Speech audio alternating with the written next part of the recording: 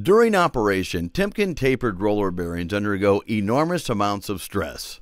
This stress can cause extensive damage to the bearing if it has inadequate or contaminated lubricant, was damaged or dropped during installation, or was adjusted or installed improperly. Today we'll look at ways to tell what went wrong with a bearing by looking at the type of damage it received. First, we look at the effects of debris contamination on the bearing.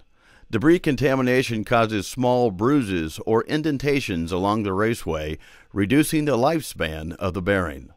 This debris can come from any number of sources, including a leaky seal, contaminated lubricant, other fatigue parts, or the use of a brass tool during installation.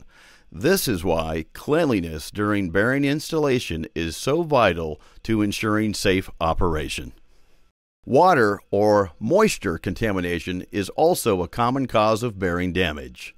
This moisture could enter the bearing during the installation or could be the result of fluctuating temperatures forcing the steel to sweat or extract moisture from the air.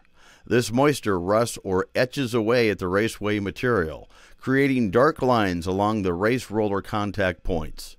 If a bearing with etching damage is used, the resulting stress along the damaged sections will cause it to look something like this.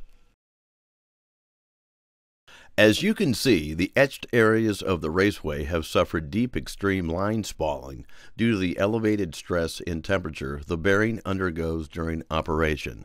Chunks of the raceway material have been torn off by the rollers as they pass, causing damage to the bearing.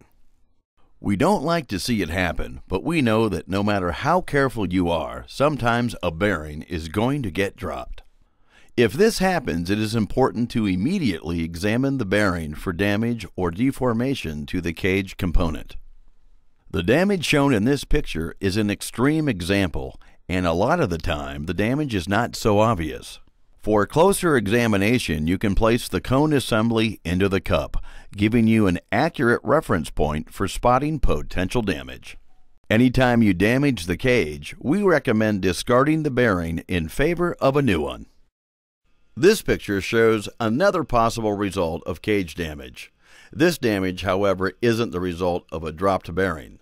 What happened here is that during the installation process, the operator made contact and pressed down on the front face of the cage, causing it to spread or expand. This forced the cage into contact with the cup during operation, causing drag that skewed and deformed the cage, ruining the bearing.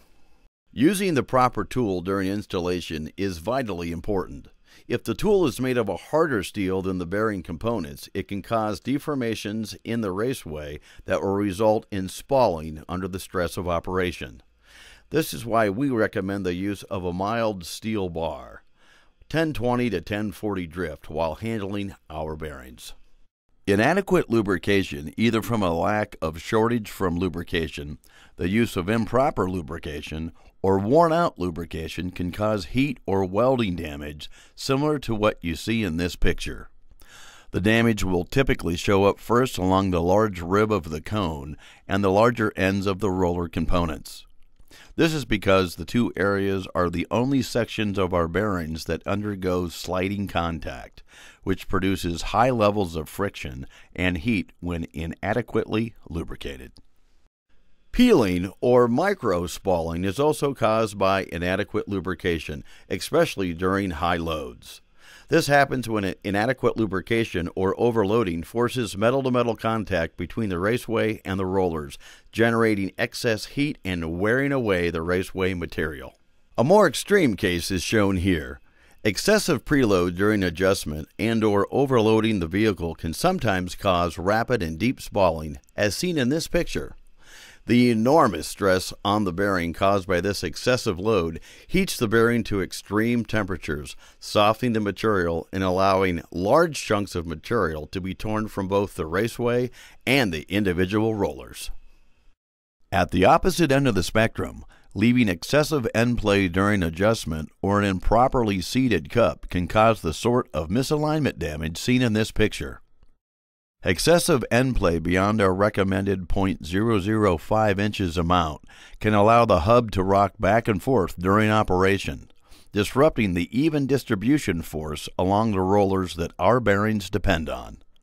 This will result in one sided deep spalling along the raceway or cone. This ends our examination and discussion of the various causes of bearing damage. The common factor among all the examples given has been human error during the adjustment, handling, or lubrication stages of installation. This is because human error is the single most common cause of bearing failure.